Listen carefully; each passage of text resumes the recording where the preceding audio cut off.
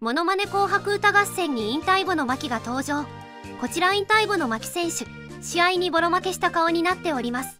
これは敗戦時の牧監督見過ぎやろお兄ちゃんか？南海の選手の息子さんなんだと。はは和田徹さんというらしい。マジかよ。牧のモノマネクソワロタ。そっくりさんは公式が募集してる牧の影武者に応募すべきじゃ WWW モノマネグランプリで牧秀吾のそっくりさんが勝ち残るって。WBC 効果だよな。めちゃくちゃ似てる。引退後の牧笑い。おもろすぎる。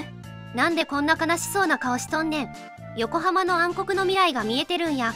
多分同じ顔しとるで。寝てたけど微妙だった。影武者募集してるから。こう見ると牧ってやっぱり面白いんやな。